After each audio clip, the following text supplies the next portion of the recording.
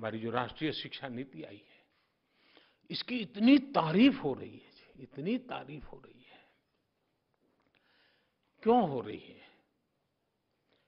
उसमें कुछ कमियाँ नहीं होगी, ऐसा तो मैंने दावा नहीं कर सकता हूँ, कोई नहीं दावा कर सकता है। लेकिन जो लोगों के मन में पड़ा था, उनको लगा यार, ये कुछ रास्ता दिख रहा है, ये कुछ सही दिशा में जा रहे हैं। चलिए उस रास्ते पर हम चलते हैं।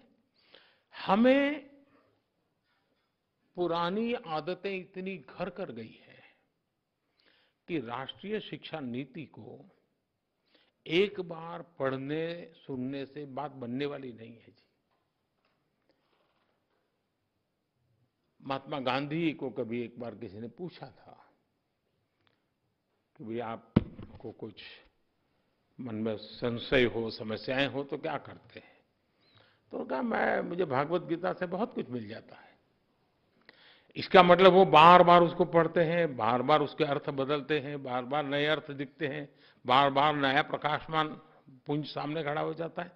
ये राष्ट्रीय शिक्षा नीति भी जब तक शिक्षा जगत के लोग, उससे हर समस्या का समाधान उसमें है क्या? दस बार पढ़े, बारह बार पढ़े, पंद्रह बार पढ़े सॉल्यूशन इसमें है क्या? उसको उस रूप में हम देखेंगे।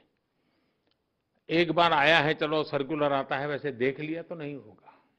उसको हमने हमारी रगों में उतारना पड़ेगा, हमारे जहन में उतारना पड़ेगा।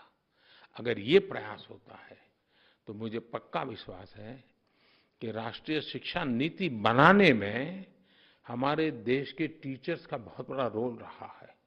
लाखों की तादाद में टीचर्स ने कंट्रीब्यूट किया है इसको बनाने में। पहली बार देश में इतना बड़ा मंथन हुआ है। जिन टीचर्स ने इसे बनाया है, उन टीचर्स का काम है कि उसको सरकारी भाषा वगैरह बच्चों के लिए काम नहीं आती है। आपको माध्यम होना होगा कि सरकारी जो डॉक्यूमेंट है, वो उनके जीवन का आधार कैसे बने। मुझे उसको ट्रांसलेट करना है। मुझे उसको फुल स्टॉप कॉमा के साथ पकड़ते हुए भी उसको सहज सहर सरल रूप में उसको समझाना है। और मैं मानता हूँ कि जैसे कुछ नाट्य प्रयोग होते हैं, कुछ ऐसे राइटिंग होता है, कुछ वक्तृत्व स्पर्धाएँ होती हैं, बच्चों को राष्ट्रीय शिक्षा नीति पर चर्चाएँ करनी चाहिए।